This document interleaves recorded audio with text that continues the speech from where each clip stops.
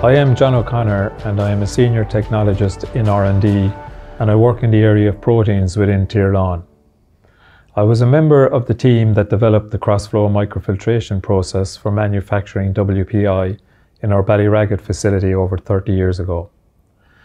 This led to the installation of one of the very first production lines for WPI using membrane filtration. Over the years, this process has been further developed and refined to the process it is today. Cross-flow microfiltration is a non-chemical, low-temperature process that uses membranes to remove fat and denatured protein from our whey to enable production of our WPI Promiko. Promiko contains 90% protein and has extremely high levels of undenatured protein. Several other membrane technologies are also used in the process, such as reverse osmosis, nanofiltration, and ultrafiltration. Reverse osmosis and nanofiltration concentrates the solids, and the ultrafiltration step removes lactose and concentrates the protein.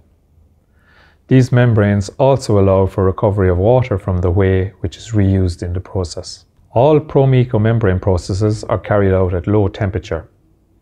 We also maintain short holding times of the whey during storage. This reduces the potential for microbial growth and development of off flavors. Comparing cross-flow microfiltration WPI to ion exchange WPI, cross-flow microfiltration is a non-chemical process and contains much higher levels of glycomacropeptide, a bioactive whey protein, and also higher calcium levels.